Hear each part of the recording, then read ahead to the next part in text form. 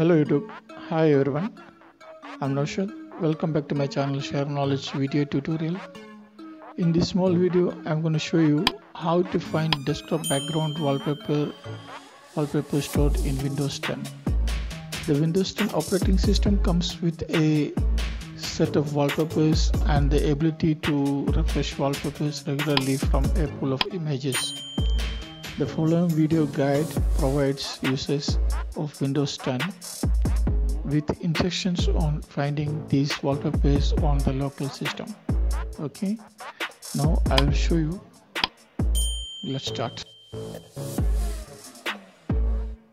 Now follow these steps. Okay, now you go to Start menu, right click on the Start menu, click on the Run, then type here to C column slash windows slash web and then press enter. And as you can see these folders of windows background images.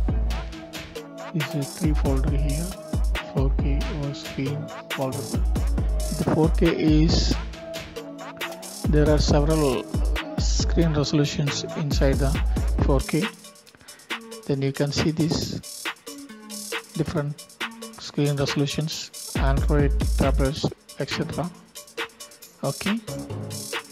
Then you go back.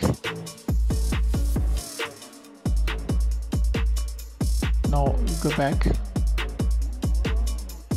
This is the screen screen screen folder. Here is the located lock screen images and logon screen images. That's why is the folders the folder named is screen back to wallpaper. Now you can see these flowers. Different flowers. Images. On the wallpapers the default wallpapers default wallpaper.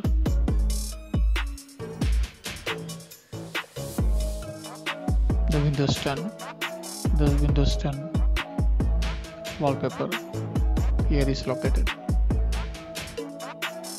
Okay. I hope this video helpful for you.